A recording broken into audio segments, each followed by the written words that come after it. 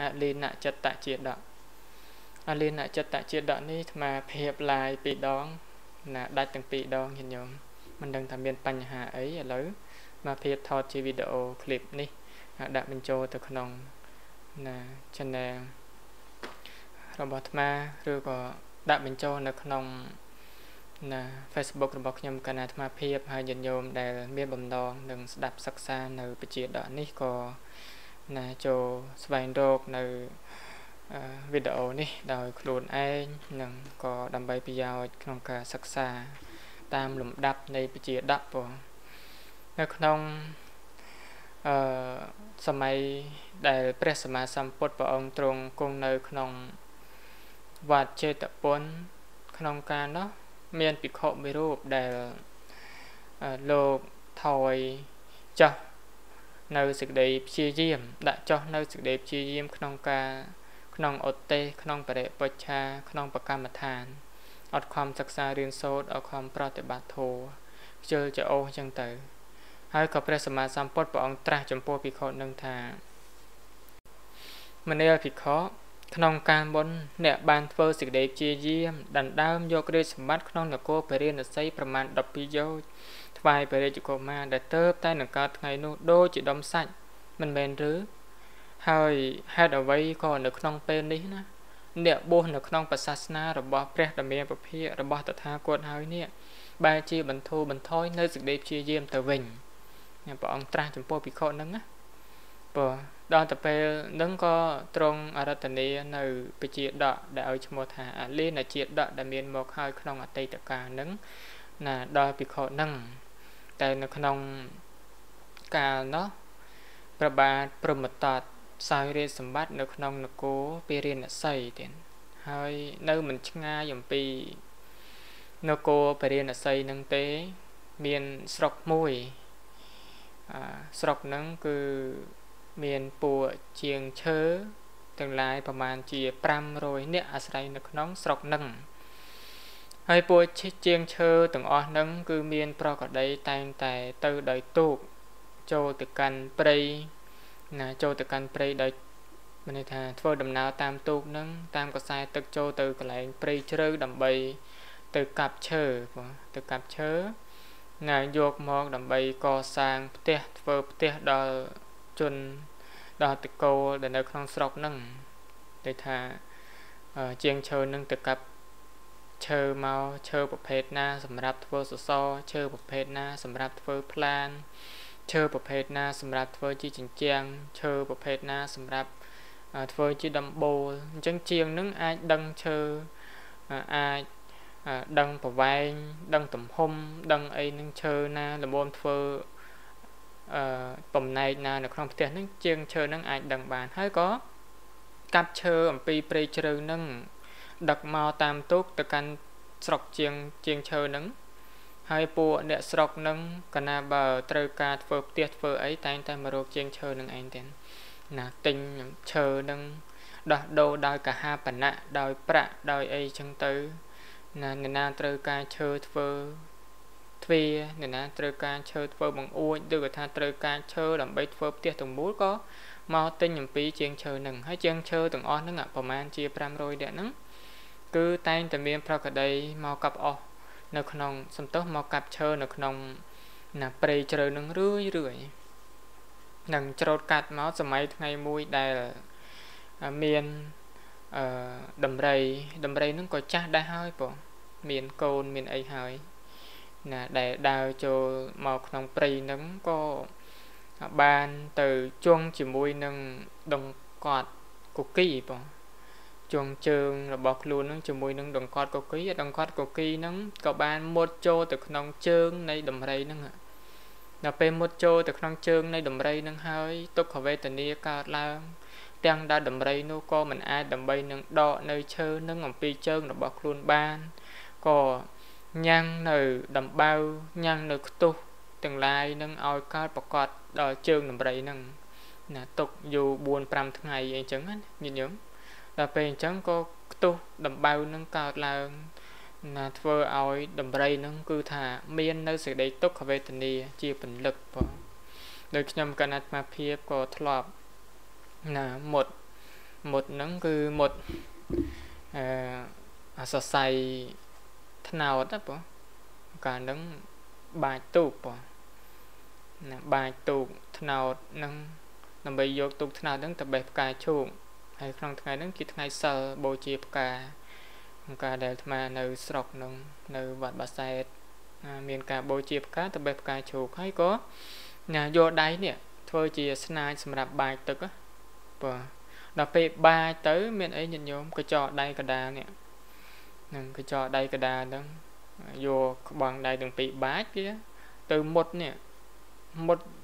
សរសៃនៃថ្នោតហ្នឹងចូលទៅក្នុងកញ្ចក់ដៃកណ្ដាលហ្នឹង ហើយដកមានរួចអីទេញញោមថ្មីថ្មីនឹងជាប់នៅនឹងឆ្កឹងឆ្នោតពោខ្មៅកដាលកញ្ចក់ហ្នឹងណាវេទនាណាញាតិញោមណាហើយដល់ពេលຕົករយៈពេល4 5ថ្ងៃទៅបានឡើងខ្ទុះឡើងអីមកហើយទៅអាចដើម្បីនឹងដកនៅណានៅសរសៃថ្នោតនឹងបានហ្នឹងអញ្ចឹងចង់បញ្ជាក់ថាដំរីនឹងមាននៅសេចក្តីទុក្ខវេទនា ក្នុងការដែលត្រូវដង្កត់កូគីនឹងមុតចូលទៅក្នុងបាតជើងអញ្ចឹងយ៉ាងម៉េចតើពីមុនធ្លាប់ដើរជើង4ឥឡូវដើរទៅជើង3ទេញាតិញោមហ្នឹងហើយក្នុងការនោះពួកជាងឈើនឹងឯងនាំគ្នាទៅបោះជំរុំក្នុងទីកន្លែងចិត្តដំរីនឹងដល់ពេលដំរីនឹងបានឮបានមើលទៅដឹងថាមានពួកជាងឈើទៅបោះជំរុំក្នុងទីចិត្ត កន្លែងខ្លួននឹងក៏ដំរីនឹងដើរចូលទៅកន្លែងជំរុំនៃជាងឈើនឹងដែលគាត់ថាជាងឈើទាំងឡាយនឹងនឹងផ្ដល់នៅសេរីសួស្តីញ៉ាំងនៅទុក្ខវេទនាញ៉ាំងដំបៅនៃយើងនឹងឲ្យជាសះស្បើយចឹងក៏បានដើរចូលទៅកន្លែងជាងឈើនឹងហើយដើរទៅទីជើង3ជាងឈើនឹងឃើញអាការៈនៃដំរីនឹងថាអូដំរីនឹងប្រហែលជាណាមុតជើងឯងហើយក៏នាំគ្នាទៅមើល កន្លែងជើងដំរីហ្នឹងក៏បានឃើញថាដង្កត់កូគីហ្នឹងត្រូវលិចចុះក្នុងជើងនៃដំរីហ្នឹងក៏នាំគ្នាមនីមនីនឹងយកកបិតយកខ្លះដាំទឹកក្តៅមកទុកឲ្យនៅក្តៅអ៊ុនអ៊ុនអញ្ចឹងទៅហើយខ្លះក៏យកកបិតហ្នឹងទៅជាកន្លែងខ្ទុះណាខ្ទុះជុំវិញដំបៅកន្លែងដែលឈើមុតហ្នឹងដល់ពេលជាមកហើយក៏យកខ្សែព្រោះយកខ្សែទៅចង ទៅចងដង្កត់កូគីហ្នឹងយកទៅចងហើយនាំគ្នាជួយគ្នាទាញព្រោះទាញនៅដង្កត់ឈើហ្នឹងចេញអំពីជើងដំរីប្រហែលជាធំណាញញោមហ្នឹងហើយក៏នៅពេលដែលអឺបានដកនៅដង្កត់កូគីនឹងចេញអំពីជើងដំរីនឹងហើយនឹងក៏យកទឹកក្តៅអ៊ុនអ៊ុននឹងឯងទៅលាងកន្លែងរបួសនៃដំរីនឹងមិនយូរប្រហែល ដំរីនឹងក៏បានធូរបានជាសះស្បើយជើងនឹងទៅ ហើយក៏បានដឹងនៅគុណរបស់ជាងឈើទាំងឡាយដែលមកធ្វើចំពោះខ្លួនចាប់ពីថ្ងៃហ្នឹងទៅ នៅពេលដែលជាងឈើនឹងកាប់ណាកាប់ឈើកាប់អីហ្នឹងក៏អឺដំរីនឹងជួយព្រោះជួយឧទាហរណ៍ថាត្រូវការកំបិតត្រូវការបថៅអីហ្នឹងដើម្បីកាប់ដើមឈើក៏ ដំរីនឹងជួយហុចយកប្រម៉ោយនឹងទៅចាប់បថៅហុចឲ្យជាងឈើទៅចាប់អាណាហុចឲ្យជាងឈើចឹងទៅ តែងតែជួយរឿយរឿយណាហើយបើថាត្រូវអឺត្រូវពុះឈើទៅជ្រៀកឈើទេក៏ណាជួយវាស់ជួយអីចឹងណាញោមជួយវាស់បតតធ្វើដើម្បីឲ្យជាងឈើនឹងកាត់អីចឹងតាហ្នឹងហើយ ពួកជាងឈើនឹងក៏ចិត្តល្អទៀតញោមណាដំរីជួយដំរីនឹងហើយនៅពេលដែលឃើញដំរីនឹងមកជួយខ្លួនអញ្ចឹងក៏ឲ្យនៅចំណីម្នាក់ម្ដុំម្នាក់ម្ដុំមកដល់ដំរីនឹងបានបរិភោគហើយដំរីហ្នឹងមិនមិននេះអីញាតិញោមចាស់ហើយហ្នឹងដល់ពេលថ្ងៃមួយក៏គិតថាខ្លួនហ្នឹងចាស់ហើយมันអាចដើម្បីនឹងមានកម្លាំង នឹងជួយតបស្នងសងគុណដល់ជាងឈើដែលធ្វើនៅឧបការៈដល់ខ្លួនអញ្ចឹងទេ តែយើងនឹងគឺមានកូនដំរីសដែលជាដំរីអាជានៃមួយដែរអញ្ចឹងយើងនឹងទៅនាំណានឹងទៅនាំកូនរបស់ខ្លួននឹងយកមកដើម្បីបំរើដល់ណាជាងឈើនឹងចឹងក៏ដំរីនឹងចូលទៅក្នុងព្រៃដែលជាទីនៅរបស់ខ្លួននាំនៅកូនដំរីស ព្រោះនាំនៅកូនដំរីសហ្នឹងមកកន្លែងជាងហ្នឹងហើយក៏អឺដំរីនឹងបានណាប្រាប់ទៅដល់ជាងឈើហ្នឹងណាបងណាប្រាប់ទៅដល់ជាងឈើហ្នឹងថាមនាលអ្នកទាំងឡាយដំរីតូចនេះគឺជាកូនរបស់ខ្ញុំនឹងពួកលោកទាំងឡាយនឹងបានជួយនៅជីវិតដល់ខ្ញុំខ្ញុំនឹងក៏សូមឲ្យកូននេះជាបំណាច់ថ្លៃពេទ្យចំពោះលោក ចាប់តាំងអំពីថ្ងៃនេះទៅកូនដំរីនេះនឹងធ្វើការបម្រើពួកលោកប្រាប់ដល់ពួកជាងនឹងបងដល់ពេលប្រាប់ដល់ពួកជាងនឹងហើយមុននឹងឲ្យកូនដំរីរបស់ខ្លួននឹងចូលទៅបំរើពួកជាងនឹងក៏មេដំរីនឹងបានផ្ដាំផ្ញើដល់កូននឹងថាមនាលកូន ចាប់តាំងអំពីពេលនេះទៅនឹងចូលកូនខំធ្វើការងារនឹងជំនួសឪពុក ជំនួសបៃតាដើម្បីតបស្នងគុណចំពោះអ្នកដែលមានគុណចំពោះខ្លួន ចំពោះបៃតានឹងហើយក៏បកលនៅកូនដំរីសនឹងឲ្យដល់ពួកនឹងជាងឈើហើយក៏ខ្លួនត្រឡប់ទៅចូលក្នុងព្រៃដែលជាទីនៅរបស់ខ្លួនវិញទៅកូនដំរីនឹងណាបងនៅពេលដែលបៃតានៅពេលដែលដំរីជាបៃតានឹងបានបកលឲ្យ ទៅជាងឈើហើយធ្វើវត្តប្រតិបត្តិជួយកិច្ចការងារជាងឈើនឹងអត់មានដែលប្រកែកអត់មានគិតថានឹងរត់ចេញអំពីទីកន្លែងនឹងទេនឹងស្ដាប់បង្កប់ឪពុកណាបងនឹងជួយចាត់ចែងទៅហើយជាងឈើនឹងក៏តែងតែសង្គ្រោះដោយអាហារឲ្យដល់ណាដល់ដំរីនឹងរឿយរឿយចឹងទៅហើយក៏ណាដំរីនឹងចោះទៅលេងទឹកងូទឹកជាមួយនឹងកូននៃជាងឈើនឹង ហើយតែអត់អត់ទៅបន្តបងលៀមមកអត់ទៅអីហ្នឹងនៅកន្លែងក្នុងទឹកទេធម្មតាលោកបញ្ជាក់ថា ធម្មតាសត្វសេះក្តីសត្វដំរីក្តី និងមនុស្សក្តីហ្នឹងគឺអត់អត់ទៅបន្តបងលៀមមកអត់ទៅបន្តបងបាសាវៈហ្នឹងនៅលើទឹកទេ នៅក្នុងទឹកទេ គឺតែងតែណាទៅបន្តបងគេគេទៅបន្តបងនៅកន្លែងគៀនច្រាំងណោះដំរីហ្នឹងក៏ចឹងដែរញញឹម ណាទៅបន្តបងលឿមកហ្នឹងនៅកន្លែងគៀនគៀនច្រាំងនៃស្ទឹងហ្នឹងណាដល់ពេលបន្តបងលឿមកអញ្ចឹងទៅលឿមកហ្នឹងគឺវាទៅជាក្រៀមដល់ពេលទៅជាក្រៀមទាំងអញ្ចឹងទៅ សម័យថ្ងៃមួយស្រាប់តែមានភ្លៀងធ្លាក់មកណាបានហូរនាំទៅនៅលៀមមុខរបស់ដំរីនឹងចោះកាន់ស្ទឹងហើយហូរអណ្ដែតទៅដល់ណាកំពង់ចិត្តក្រុងពេរិណស័យនឹងឯង កំពង់នៃក្រុងពេរិណស័យនឹងហើយថ្ងៃមួយនេះពួកមកដំរីនឹងណានាំយកដំរីនៃពរាជាហ្នឹងប្រហែលជា500ហ្នឹងទៅទៅទៅងូតទឹកកន្លែងកំពង់ហ្នឹងណាដល់ពេលនាំដំរីនឹងទៅពួកដំរីនឹងអត់ហ៊ានចោះទឹកអត់ហ៊ានចោះទឹកនឹងទេញញឹមណាព្រោះលាមក របស់ដំរីអាជានៃរបស់ដំរីសហ្នឹងវាបានទៅនៅកន្លែងច្រាំងកំពង់ស្ទឹងនៃកំពង់ពរិណស័យហ្នឹងណាដល់ពេលអញ្ចឹងធ្វើឲ្យដំរីប្រហែលជា500នឹងអត់អត់ចោះញញោមដេញយ៉ាងម៉េចក៏អត់ចោះដែរអត់ចោះទៅងូតទៅក្នុងក្នុងស្ទឹងហ្នឹងទេដល់ពេលអញ្ចឹងពួកមកដំរីហ្នឹងឆ្ងល់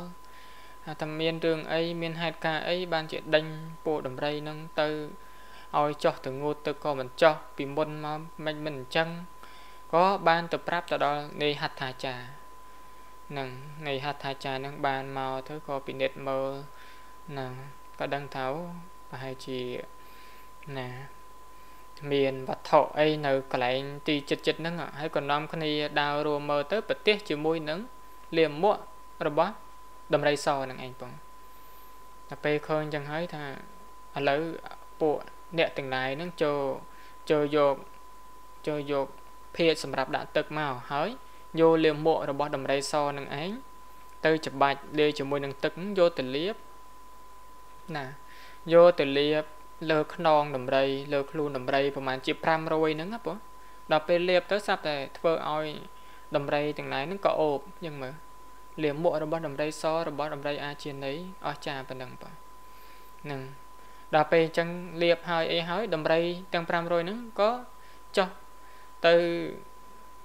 ក្នុងស្ទឹងនឹងទៅព្រោះលែងខ្លាចទៀតដែរហ្នឹងដល់ពួកនៃហដ្ឋាចារ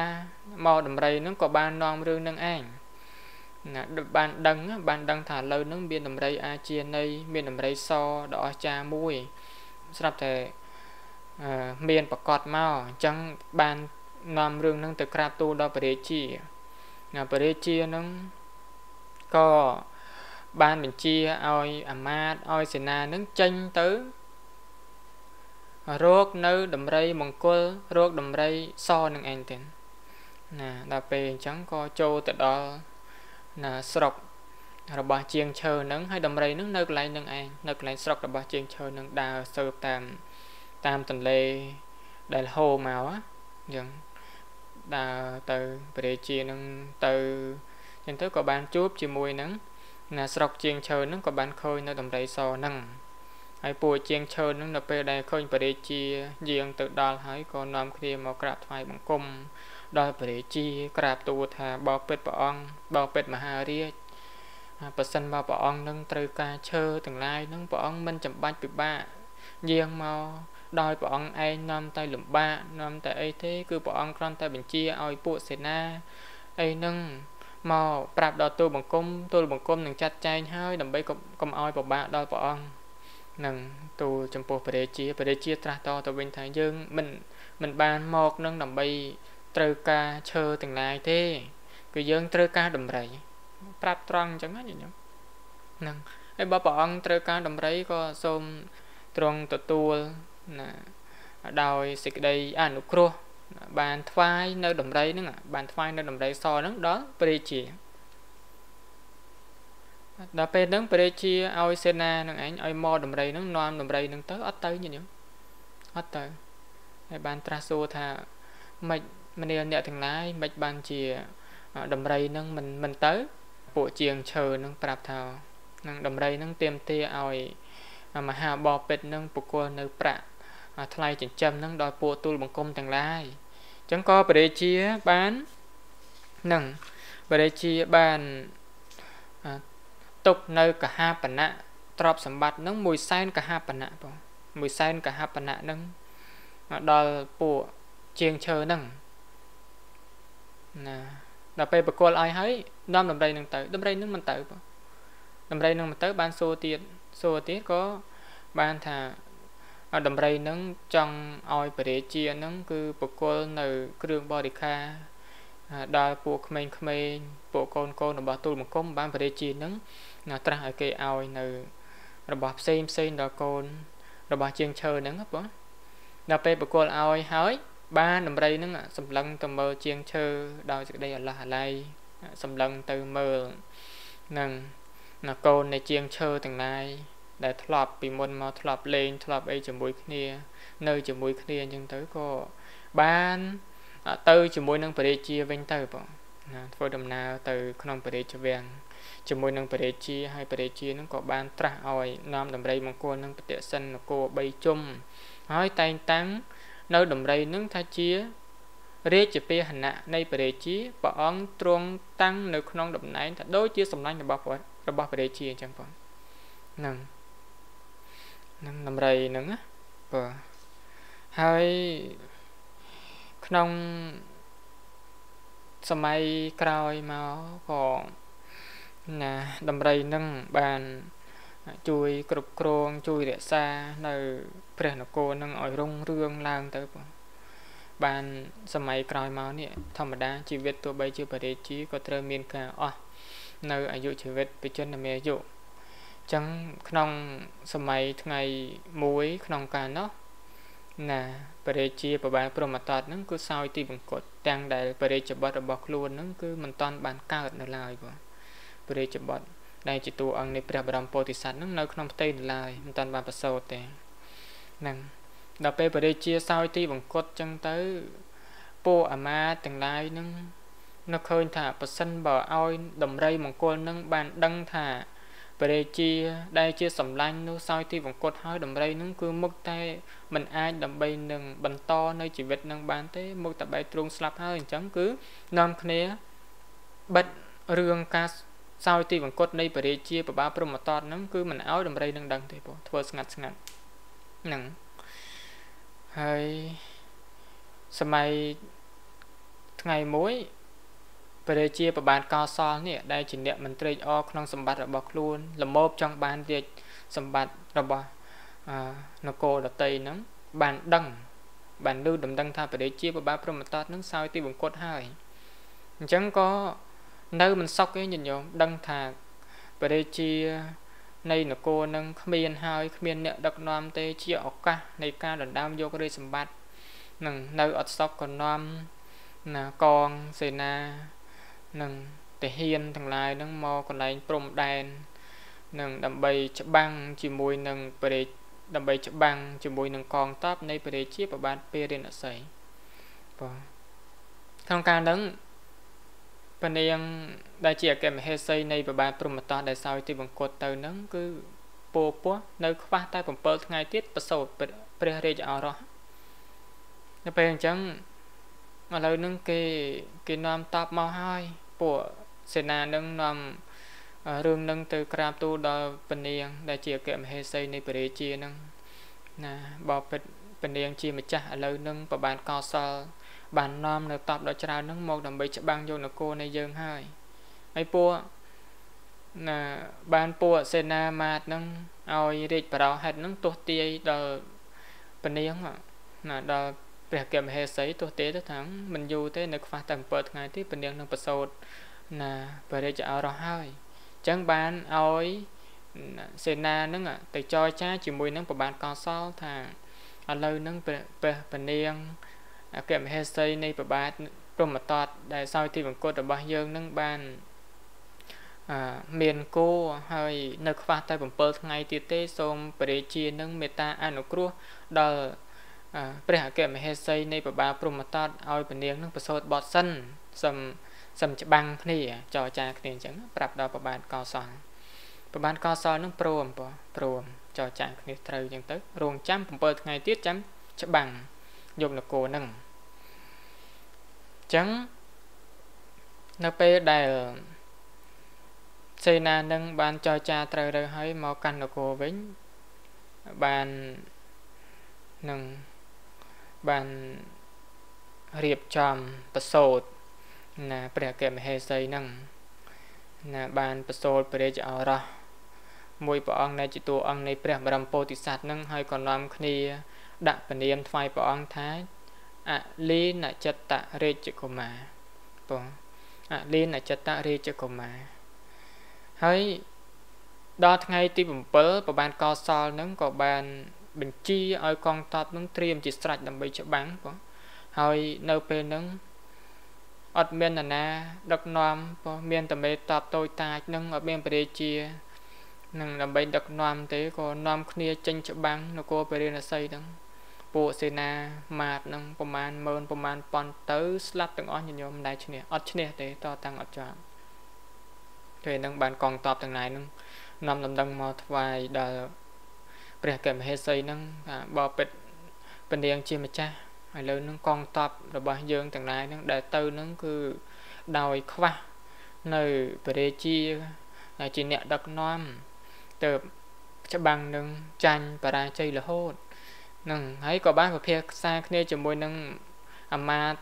និងមន្ត្រីនៅក្នុងរាជវាំងហ្នឹងគាត់ថាឥឡូវហ្នឹងមានតែមានតែយើងហ្នឹងបាន ប្រាប់ដំណឹងនៃការសុគតនៃប្របាទព្រមតតនឹងដល់ស្ដេចដំរីនឹងទេពនាងនឹងមានតែអញ្ចឹងទេទៅអាចដើម្បីនឹងរក្សានៅរាជសម្បត្តិក្នុងព្រះនគរនេះបាន បានពនាងនឹងយល់ព្រមឥឡូវនឹងអ្នកទាំងឡាយនឹងចូលចាត់ចែងចុះចូលទៅប្រាប់ដល់ស្ដេចដំរីនឹងទៅបាននឹងពួកអាមាត្យទាំងឡាយនាំគ្នាចូលទៅកន្លែងស្ដេចដំរីសនឹងហើយក៏បានប្រាប់ថា បបិទ្ធស្ដេចដំរី ក្នុងកាលកន្លងមកព្រះរាជាព្រះបានព្រមតតនឹងទ្រង់បានសោយប្រតិបង្គត់ហើយ តែយើងទាំងឡាយនឹងមិនបានប្រាប់ដល់អ្នកនឹងព្រោះតែខ្លាចការបាត់បង់ជីវិតរបស់អ្នកទៀតដូច្នេះអ្នកចូលដឹងក្នុងកាលឥឡូវនេះព្រះរាជាប្របានកសលនឹងបានមកច្បាំងដើម្បីយកទេសម្បត្តិនៃនគរនេះហើយ ទាំងដែលនៅក្នុងការនេះណាបរិជាអរោះនៃប្របាទព្រមតតដែលជាសម្លាញ់របស់អ្នកនឹងគឺទៅតែប្រសូតមកនឹង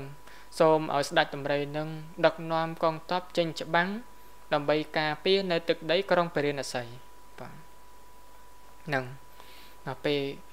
ប្រាប់អញ្ចឹងញាតិញោមស្ដេចតម្រៃនឹងគ្រាន់តែបានឮថាពរាជាប្របាទព្រមតតនឹងដែលជាសម្លាញ់របស់របស់ខ្លួននឹងសោយទីបង្គត់ញាតិញោមក្តុកក្ដួល នឹងណាក្តុកក្ដួលមែនតើញាតិញោមហើយក៏បានចូលទៅកន្លែងព្រះរាជឱរស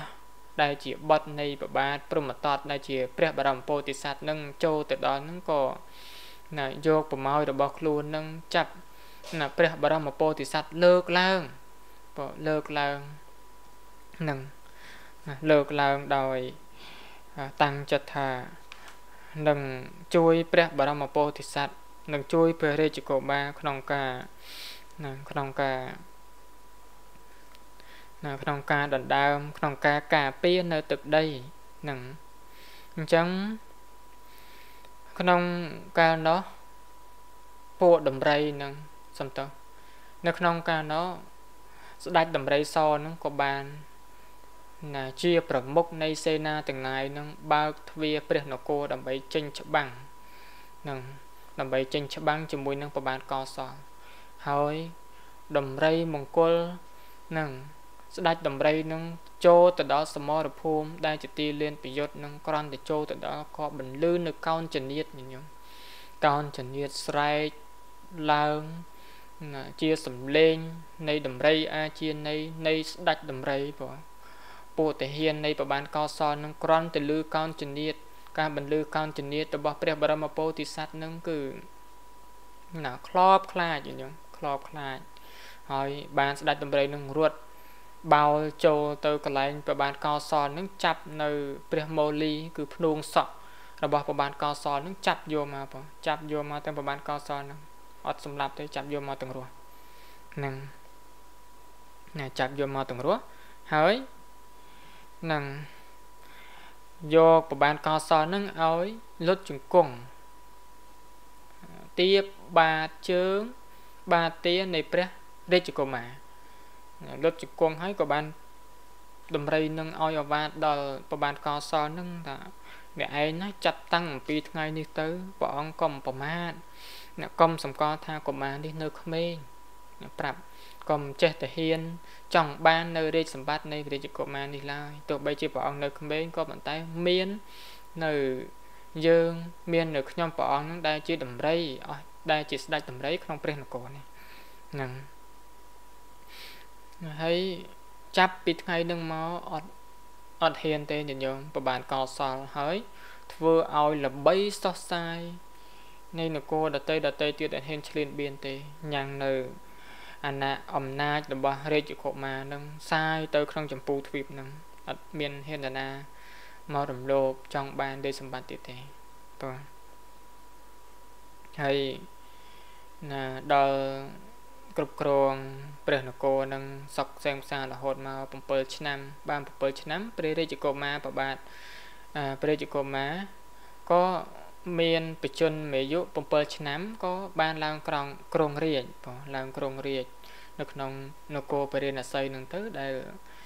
ណាបានឈ្មោះថាអលីនចតរាជអលីនចតរាជបងហ្នឹងនេះគឺជាដំណើររឿងរ៉ាវនៃការការពារនៃការការពាររាជសម្បត្តិរបស់ណាព្រះរាជកុមារដោយស្ដេចដំរី ដែលដំរីនឹងគឺមាននៅសេចក្តីព្យាយាមខ្លាំងក្លាណាស់ដែលអាចដើម្បីនឹងការពាររាជសម្បត្តិរបស់ ណាព្រះរាជកុមារបានចឹងហើយបានព្រះអង្គត្រាស់នៅពគាថានឹងថាសេនាទាំងឡាយមានចិត្តឌីងដេព្រោះអាស្រ័យនៅអលិនចិត្តរាជកុមារបានញ៉ាំងដំរីឲ្យចាប់ព្រះបាទកោសលទាំងរស់ដែលមិនត្រេកអរហើយដោយរាជសម្បត្តិរបស់ខ្លួនយ៉ាងណាមិញភិក្ខុអ្នកបរិបូរដោយនិស័យមានសេចក្តីព្យាយាមប្រារព្ធហើយ ការចម្រើននៅកុសលធម៌ដើម្បីសម្រេចនៅ ព្រះនិព្វានជាទីខ្សែមចាក់យោគៈក៏បីដល់នៅការអស់ទៅនៃសង្យោជនៈដោយលំដាប់ក៏យ៉ាងនោះដែរបងត្រាស់នឹងអាអាលេនចតរាជកុមារនឹងគឺរាជកុមារដែលញ៉ាំងនៅទឹកចិត្តរបស់អាមាទាំងឡាយនឹងឲ្យត្រេកអររីនរាយដោយនេះអាលេនចិត្តនឹងគឺអាលេនចិត្តរាជកុមារនឹងដែលដែលធ្វើឲ្យដំរីនឹងអាចដើម្បីនឹងការពារព្រះនគរបាននឹង អាចដើម្បីនឹងការពារព្រះនគរបាននឹងហើយឥឡូវហ្នឹងចូលកន្លះម៉ោងហើយរួបរวมណាសជាតិនៃពជាដកនឹងមកដែលព្រះសម្មាសម្ពុទ្ធព្រះអង្គទ្រង់ត្រាស់ថាណាពមេដារបស់ព្រះបរមពោធិសត្វក្នុងកាលនោះហ្នឹងគឺបានមកជាពនាងមហាមយាទេវីក្នុងកាលឥឡូវនេះនឹងព្រះបិតាគឺប្របាទព្រមតតហ្នឹងគឺបានមកជាព្រះបាទសុទ្ធោទនរាជ ណាស្ដេចតម្រៃដែលជួយឲ្យរាជសម្បត្តិបានមក